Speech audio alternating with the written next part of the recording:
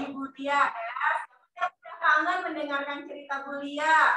Kalau yang kelas 3 pasti masih ingat ya cerita Bulia tentang si Ulil. Ah, kalau kelas 1 dan kelas 2 yang penasaran nanti bisa minta Bulia bercerita lagi.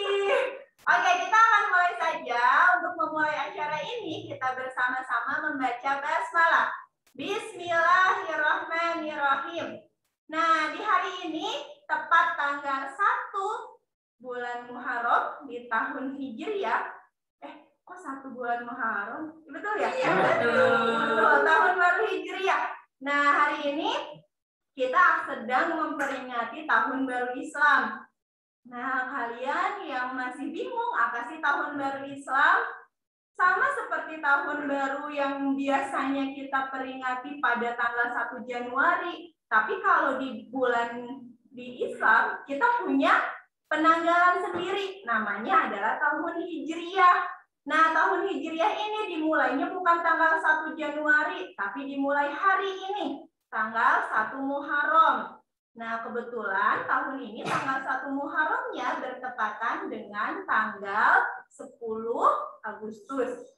Jadi, hari ini kita akan mendengarkan sebuah kisah yang berhubungan dengan bagaimana perjalanan para sahabat dan apa yang bisa sahabat itu berikan untuk kejayaan Islam. Karena sekarang kita sedang memperingati tahun baru Islam, maka kita akan mendengarkan cerita-cerita dari para sahabat, bagaimana peran para sahabat tersebut untuk memajukan atau uh, untuk lebih menyebarkan agama Islam. Sudah siap ya mendengarkan cerita? Nah, kita akan mendengarkan cerita dari Buli ya. Kita panggil dulu bulianya. Bulia. Assalamualaikum. Waalaikumsalam Bulia. Ah! Ada bulianya. Selamat pagi. Wah, senang sekali Bulia. Anak-anak sudah ramai. Emang burung. Gimana kabarnya? Alhamdulillah luar biasa. Tetap semangat Tetap ceria Allah Akbar. Hei, Mulia lagi di mana ini? Ada yang tahu Mulia lagi di mana? Uh, Mulia lagi di dekat sumur. Eh, kok dekat sumur? Anak-anak, hari ini Mulia insya Allah akan bercerita. Tadi Bu, uh, Bu Dewi sudah menyampaikan ya bahwa hari ini adalah tahun baru Islam 1 Muharram 1443 Hijriah. Anak-anak, pada tahu nggak kalau misalnya bulan Hijriah itu ada apa saja? Muharram. apa lagi? Ramadan. Pada tahunnya itu ya. Atau Syawal mulia pas lebaran. Ah, sebenarnya ya uh, bulan uh, Hijriah juga sama banyaknya jumlahnya dengan bulan yang biasa. Kita kenalkan Januari sampai dengan Desember ya. Kalau uh, Hijriah itu apa? mulainya dari Muharram. Muharram, Safar, Rabiul Awal, Rabiul Akhir, terus Jumadil Awal, Jumadil Akhir, terus apa?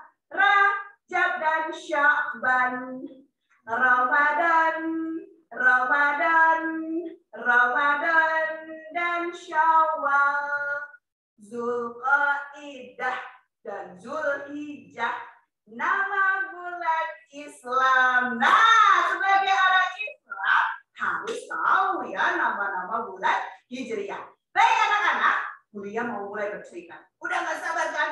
Kali ini Buria mau berkisah tentang hmm, seorang sahabat Rasulullah yang punya peran penting sekali dalam penyebaran Islam. Nah, beliau ini orang yang sangat setia sekali membantu Rasulullah dalam berdakwah. Siapakah dia? Tahu nggak? Nah, pasti tahu ya. Udah dikasih tahu sama sama kemarin di flyer ya.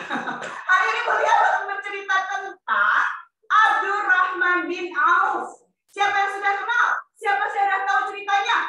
Siapakah beliau? Ah, coba kalau mau dengar ceritanya, duduknya yang rapi. Kemudian fokus konsentrasi. Suara kelihatan dengar. Pendengar. Oke deh. Jadi kita kenalan dulu ya. Kita kenalan dulu dengan siapakah Abdurrahman bin Auf ini. Nama aslinya, ah, nama aslinya adalah Abdul bin Ka'bah. Atau biasanya ada juga yang menyebutnya Abdul Abdul Amr. Nah, itu nama aslinya. Abdurrahman bin Auf itu adalah salah satu sahabat Rasulullah Shallallahu Alaihi Wasallam yang diberi keistimewaan oleh Allah. Apa istimewanya? Anak-anak, Abdurrahman bin Auf ini dianugerahi kekayaan yang banyak Gimana anak-anak? Banyak sekali. Wow, saking banyaknya. Kaya banget mulia. Kaya. Oh, sekaya apa sih? Mulia aja ya. Baca ceritanya tuh sambil ngitung. Ini kok kayaknya nggak habis-habis ya kekayaannya. Ah, harta kekayaannya itu sangat banyak. Sebanyak apa? Yuk, kita lihat ya. Abdurrahman bin Auf itu, nih Mulia kenalin dulu, termasuk dalam orang-orang pertama atau ashabikun awalun yang masuk Islam. Nah, orang-orang pertama yang masuk Islam. Dia itu, beliau ini masuk Islam setelah diperkenalkan oleh sahabat Rasulullah. Ada yang tahu siapa? Abu Bakar radhiyallahu anhu. Nah, ya, jadi diperkenalkan oleh uh, Abu Bakar bersama dengan sahabat yang lainnya. Ada Utsman bin Affan, Talha bin Ubaidillah, kemudian juga Zubair bin Awam, Sa'ad bin Abi Waqqas. Nah, itu diperkenalkan oleh Abu Bakar. Jadi Islam diperkenalkan kepada mereka-mereka. Dan kemudian mereka memeluk Islam. Nah, karena tertarik dengan Islam, kemudian menghadaplah mereka kepada Rasulullah dan menyatakan keimanannya. Nah, setelah masuk Islam, Abdurrahman menjadi sosok yang sangat setia kepada Rasulullah dan selalu membela Islam, selalu membantu dakwah Islam. Oh iya, ya namanya berubah jadi Abdurrahman bin Auf? Iya, jadi setelah masuk Islam oleh Rasulullah yang tadinya namanya Abu Ka'bah atau tadi siapa? Abu Amr diganti menjadi Abdul Rahman bin Auf dan sampai sekarang nama itulah yang terkenal. Nah, anak-anak, beliau itu uh, apa namanya suka sekali apa ya? Uh, walaupun orang kaya, oh, tapi dia tidak segan membela Islam. Ya, bahkan tidak segan juga ikut berperang. Perang Badar, perang Uhud, perang Tabuk semua diikuti. Keren ya? Hmm, betul sekali. Nah, anak-anak, Abdurrahman bin Auf ini oleh Allah dikasih keistimewaan dalam berbisnis. Tahu bisnis? Berjualan, berdagang. Wow. Bisnisnya selalu sukses. Itulah kenapa ia memiliki kekayaan yang gimana anak? Banyak sekali. Nah, karena kepandaiannya dalam berbisnis itu. Tapi Apakah kekayaannya itu begitu saja didapatkan? Tentu tidak. Butuh kerja keras. Ah, ya. Dan ia tidak segan-segan, betul-betul bersungguh-sungguh anak-anak bekerja keras. Dan Abdurrahman bin Auf ini mengalami juga masa-masa sulit, terutama di awal-awal memeluk Islam. Nah, tekanan kaum Quraisy yang tidak suka itu sangat besar. Tapi apakah Abdurrahman bin Auf ini menyerah? Tidak, tidak membuatnya goyah terhadap keislamannya. Nah, anak-anak, jadi walaupun Abdurrahman bin Auf ini orang yang sangat tetapi dia juga sangat dermawan. Tahu nggak dermawan? Ayo anak-anak kelas satu tahu nggak dermawan? Bukan, bukan bukan nama orang ya.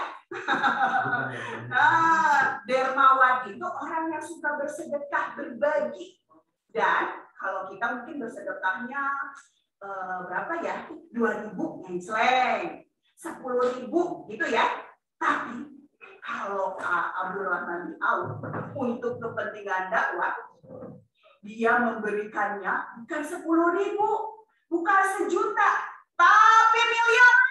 Wow, segimana ya uang miliaran? Dia juga belum pernah lihat. Hmm, Nanti mungkin lihatnya di bank. ya, tapi pastinya sangat banyak sekali. Nah, tapi apakah hartanya habis? Kita lihat ya. Nih anak-anak, keistimewaan lainnya adalah saat perang, Abdurrahman bin Auf itu selalu jadi prajurit. Dia ikut dalam berperang. Dia juga menyumbangkan hartanya untuk keperluan perang. Pernah nih, di pada saat perang Tabuk, ia memberikan 200 ukiah emas. 200 ukiah emas itu segimana mulia? Satu ukiah itu 30 gram. 30 gram tadi malam Buya sambil ngitung loh. 30 gram kali seharga emas itu 900 ribu. Berapa tuh? Kali 200, nolnya banyak. Miliaran. Wow. ya, terus Abdurrahman bin Auf ini dihormati juga oleh para sahabat Rasulullah yang lain. Bahkan ketika Umar bin Khattab wafat, dia termasuk yang dipilih menggantikan Umar sebagai khalifah. Tapi anak-anak, ya, dia menolak. Kenapa? Karena dia merasa tidak pantas. Mohon maaf, saya tidak pantas. Dan dia lebih menunjuk siapa? Utsman bin Affan. Akhirnya Utsmanlah yang menjadi khalifah selanjutnya setelah Umar bin Khattab. Nah, pada saat Rasulullah hijrah ke Madinah, nih anak-anak, hijrahnya Rasulullah ke Madinah ini menjadi salah satu peristiwa di balik penanggalan satu Muharram ya. Jadi kenapa sih satu Muharram? Nah ini salah satunya hijrahnya Rasulullah kaum muslimin ke Madinah. Ya, dulu Madinah itu dikenal dengan nama Yasrib. Nah, Abdurrahman bin Auf ikut nggak? Ikut. Kan beliau sangat setia sama Rasulullah. Nah, kemudian Rasulullah itu mempersaudarakan orang muhajirin. Orang muhajirin itu orang muslim yang ke Madinah, ya. Kemudian dengan Ansor. Nah, saat ini orang yang dipersaudarakan dengan Abdurrahman bin Auf mau memberikan uang kepada Abdurrahman bin Auf supaya untuk membantu katanya. Tapi apa kata Abdurrahman bin Auf? Tidak, ditolak. Mohon maaf, saya tidak tidak membutuhkan itu. Segini saja, pinjamkan saja saya uang tersebut dan tunjukkan di mana pasar berada. Oh, pasar kota ini ada di mana? Mau ngapain? Mau belanja? Tidak ternyata dari uang itu ya oleh Abdurrahman bin Auf dia dipakai untuk berdagang dan ternyata anak-anak berhasil dia bisa mengumpulkan kekayaan lebih banyak, uang lebih banyak. Dan wah ini hebatnya Abdurrahman bin Auf nih anak-anak. Ia dijuluki sebagai sahabat bertangan emas. Wow, emas? Tangannya emas, mulia? Maksudnya, jadi apa pun yang dia temui, bahkan batu, ketemu batu nih, wah ada batu, itu bisa jadi uang. Ah, saking pandainya dia berbisnis. Iya, di bawah batu itu bisa ditemukan uang apa emas atau perak. Karena dia sangat-sangat pandai dalam berbisnis. Jadi semua bisa jadi uang. Keren ya? Wah, dan sebesar itu bisnisnya semakin berkembang. Suatu hari di kota Madinah yang aman tidak tetap. Tiba-tiba ada suara menderu anak-anak. Duduk, duduk, duduk, duduk. Dan tiba-tiba, oh, ada debu yang tebal sekali menutupi angin. Para penduduk Madinah sampai terbatuk-batuk. Ada apa ini? Ada apa? Orang-orang bertanya melihat, ada apa ya? Mereka melihat langit ya tertutup oleh debu yang tebal. Nah, ternyata mereka pengen penasaran nih. Keluarlah mereka dari rumah masing-masing. Ada apa? Ada apa? Tahu nggak anak-anak? Ternyata debu itu berasal dari mana? Berasal dari iringan barisan unta yang sakit. Baik. Nah, belum nyampe. Coba semuanya iringan otak yang sangat panjang. Aduh, hampir jatuh mulia. Iya, saking panjang banyak. Memang berapa kuliah? Lima unta. Hmm, sedikit. Sepuluh. Sedikit. Tahu nggak berapa? Seratus. Belum. Tujuh ratus unta. Wow, tujuh ratus anak-anak. Semuanya di unta itu, tujuh ratus ekor unta itu beriringan. Itu semuanya milik Abdurrahman bin Auf. Mereka baru pulang dari mana?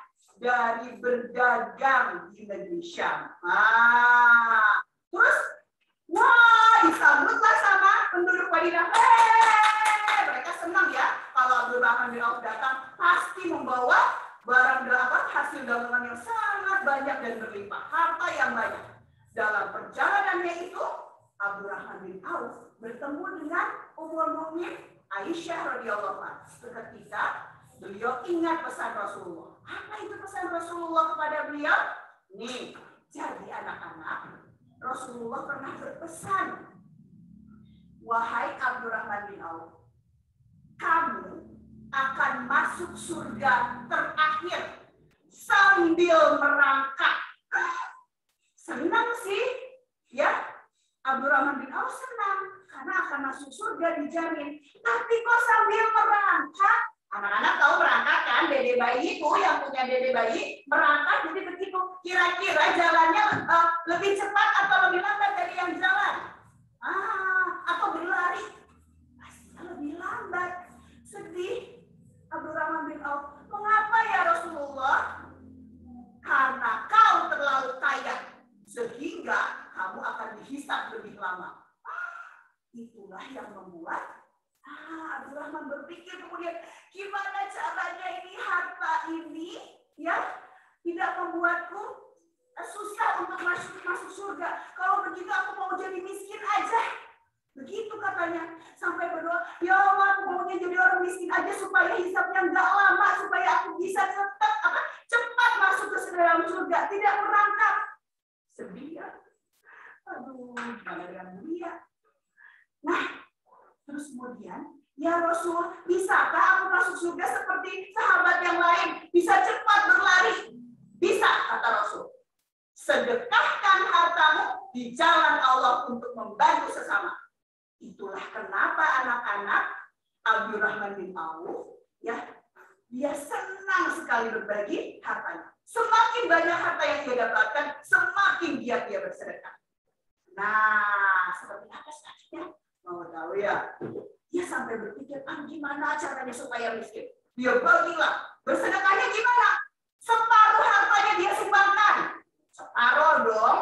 Wah. Terus saat perang Badar, ia menyumbangkan 40 ribu dinar. 40 ribu dinar kali 45 ribu. Berapa tuh banyak nolnya? Miliaran. Terus dia menyumbangkan 500 ekor kuda. Harga satu kuda itu sekitar 30 juta. Kaliin deh tuh. 1.500 unta. Kaliin juga sekitar harganya, harganya segitu juga. Kebayang nggak?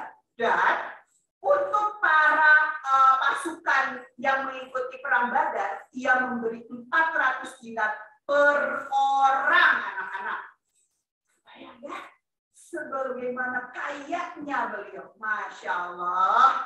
Ih, merinding beliau. Tetapi, udah dibagi-bagi kayak gitu, miskin nggak Abdurrahman bin Auf? A -a -a -a. Janji Allah, orang yang bersedekah itu tidak ada yang miskin. Bahkan Allah akan menggantinya terus berlipat-lipat. Begitupun dengan Abdurrahman bin Auf. Dia pengen miskin, dia bersedekah, dia keluarkan semua hartanya. Tapi apa? Dia semakin sukses. Hartanya terus bertambah. Sampai akhir hayatnya di usia 75 tahun, ia terkenal, tetap terkenal sebagai seorang pedagang yang sukses. Masya Allah anak-anak. Ya, sebegitu kayanya harta yang Allah berikan padanya, ya, tapi dia tetap rendah hati. Kemudian tadi ya, yang awalnya Rasulullah menyampaikan nanti kamu akan masuk surganya terakhir sambil merangkak. Ternyata Harta yang dia punya itulah yang nanti dijanjikan oleh Allah untuk masuk surga. Dan dalam cerita itu, ya ternyata maksudnya merangkak ke surga itu bukan karena jauh atau susah masuk ke surga. Tahu nggak anak-anak kenapa? Tetapi karena Abdurrahman bin Auf saking dekatnya dengan surga, saking dekatnya dengan pintu surga, jadi nggak perlu ngalengkah kalau kata orang Sunda mah. Nggak perlu berlari lagi. Cuma merangkak udah masuk surga. Itu saking dekatnya. Oh, Masya Allah. Ya, itu ternyata anak-anak yang Allah berikan keistimewaan untuk Abdurrahman bin Auf. Nah, anak-anak gimana? Itu tadi kisah dari sahabat Rasulullah. Siapa? Ayo, siapa namanya tadi yang punya? Abdurrahman bin Auf. Mulia berharap ya di uh, tahun Hijriah yang baru ini 1443 Hijriah kita semua bisa mengambil pelajaran dari sosok dari sosok Abdurrahman bin Auf. Kita diajarkan bagaimana bersedekah, membantu sesama, berbagi, nggak pakai hitung-hitungan tuh Ya, Abdurrahman bin Auf, oh ada yang butuh, dia kasihkan. Dia kasihkan tanpa dihitung. Oh nanti baliknya segini, baliknya juga. Ya, bahwa yang berikutnya adalah setiap harinya kita yuk berusaha menjadi pribadi yang lebih baik lagi. Perbaiki diri. Jadi terus berjuang. Nah, belajarnya juga anak-anak yang masih males-malesan. Ayo dong, Jangan mudah menyerah, anak-anak juara harus selalu semangat dalam belajar. Ya, Nah, kemudian apa? Nih anak-anak, apa yang ada dalam diri kita itu semua titipan Allah. Ya, semua titipan Allah. Jadi, nih kemarin anak-anak kelas 1 belajar tentang tubuh kan ya? Semua yang ada di tubuh kita juga titipan Allah. Jadi, Mulia berpesan, ayo kita jaga ini semuanya dan semakin baik ibadahnya, belajarnya, dan Mulia doakan kelak kalian menjadi Abdurrahman bin Auf, ya Abdurrahman bin Auf, Abdurrahman bin Auf yang bisa memperjuangkan Islam juga menjadi orang-orang sukses, ya. Oke, semangat ya anak belajar juara ya. Wallahu a'lam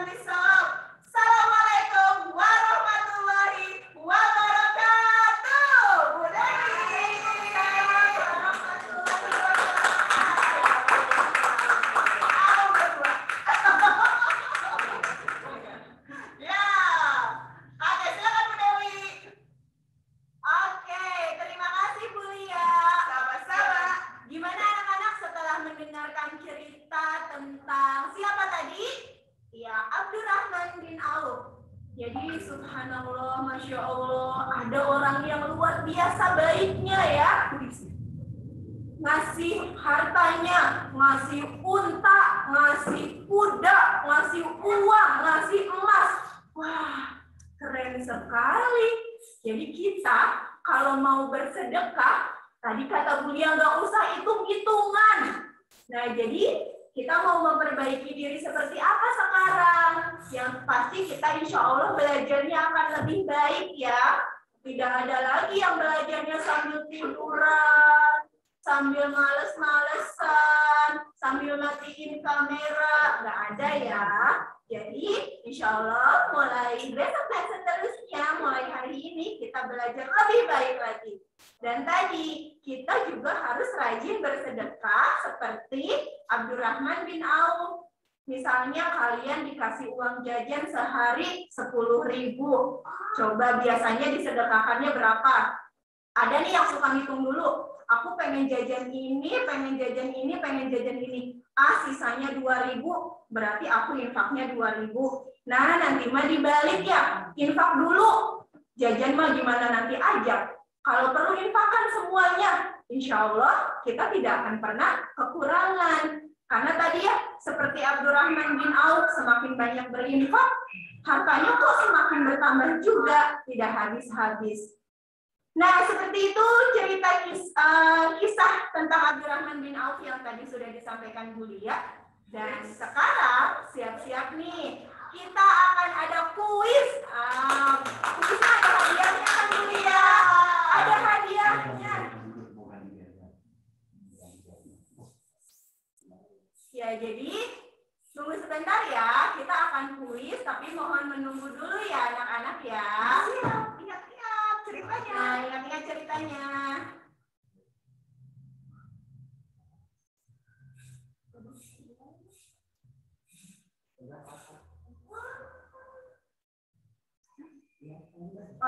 Oke, jadi ingat-ingat cerita tadi. Nama-namanya Abdurrahman bin Auf itu siapa? Terus ikut perang apa ingat-ingat tuh cerita yang tadi sudah disampaikan oleh Bu Lia. Oke, siap-siap ya. Nanti gimana nih kuisnya nih? Nanti yang bisa lewat chat. Itu masih suaranya Suaranya ada.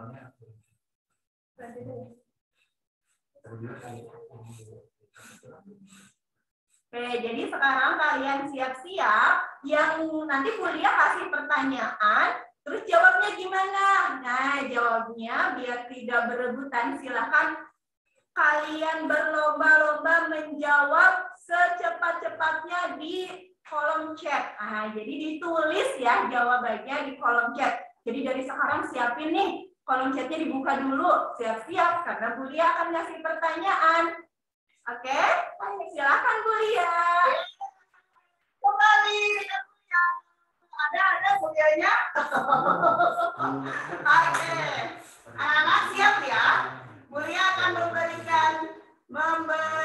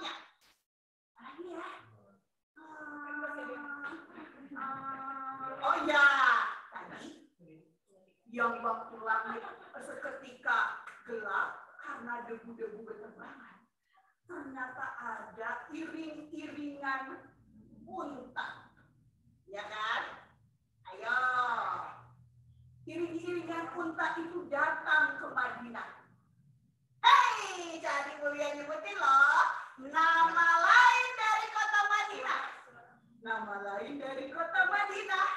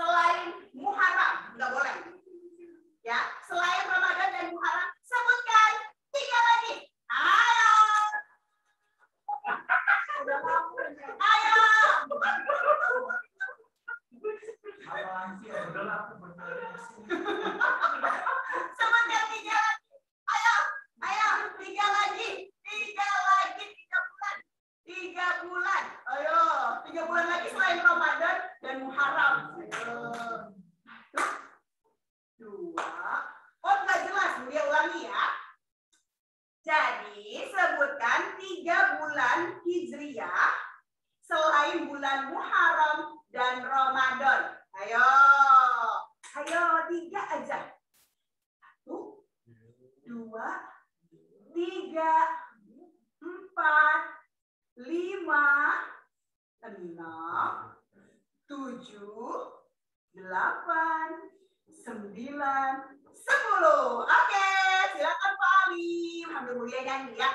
Muharram, Safar, Rabiul Awal, Rabiul Akhir, Jumadil Awal, Jumadil Akhir, Rajab dan Syaban, Ramadan, Ramadan, Ramadan dan Syawal.